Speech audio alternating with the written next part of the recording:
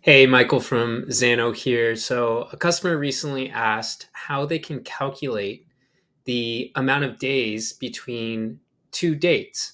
So, we've seen some examples before uh, on our YouTube channel uh, and in the community where we can calculate that with timestamps.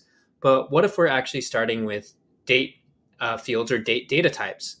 So, uh, this snippet and this video will show you exactly how to do that. We'll actually uh, convert those dates to timestamps, do the calculation, uh, and then we'll uh, actually be able to get the amount of days between two dates.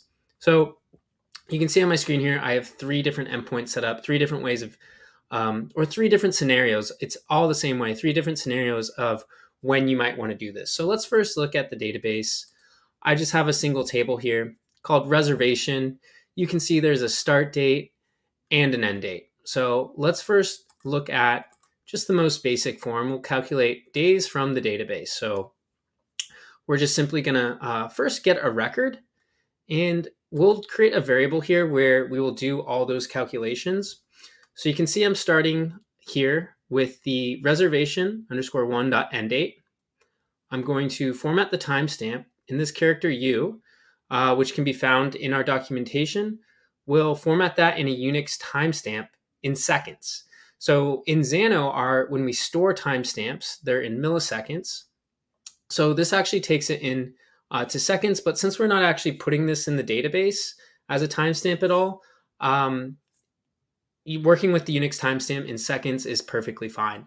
So we take that end date, we transform it or format it rather to a Unix timestamp, and that allows us to then do uh, basic math, aka subtraction. And so we'll subtract the start date, which once again will be formatted as a Unix timestamp in seconds. And once we do that, well, we're going to divide by this number, 86,400.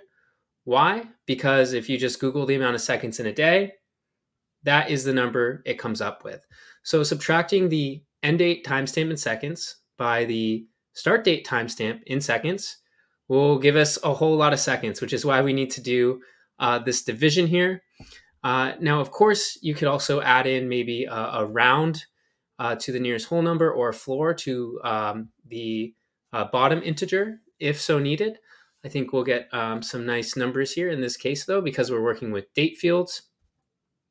And uh, finally, what we'll do here is we'll update the variable. We'll just basically create that duration field to be on our object. So if we go ahead and actually run this here, Let's run this for reservation ID one.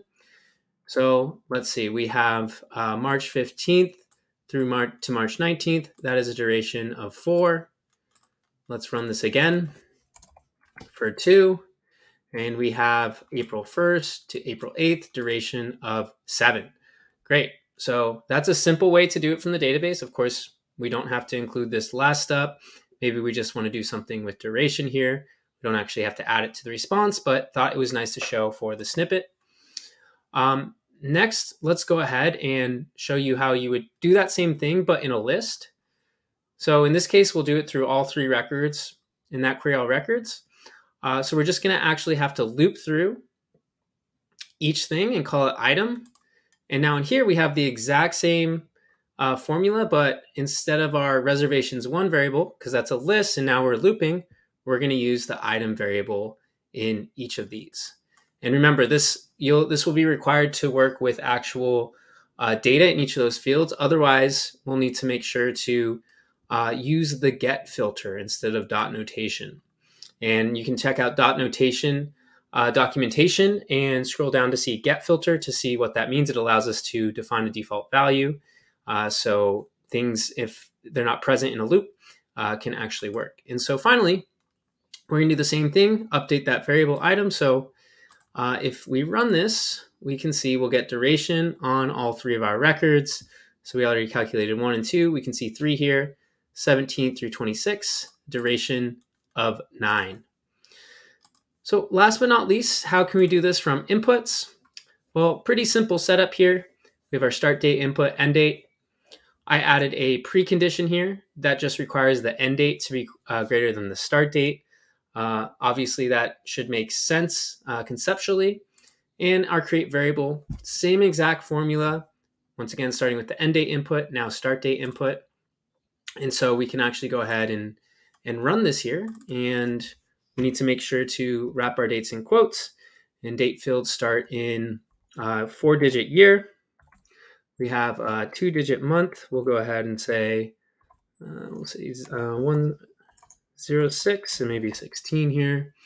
And our end date will be 23. We'll say um, 06, maybe 22 here. And if we go ahead and run this, we should see we get our duration of six between uh, the 22nd and 16th. So there you go. Um, that's how you would calculate the duration of days when you have a date field. Remember, first, we just need to convert that um, to an actual uh, timestamp so we can actually do uh, mathematic on it. And then we can divide it by the amount of seconds in a day, and voila.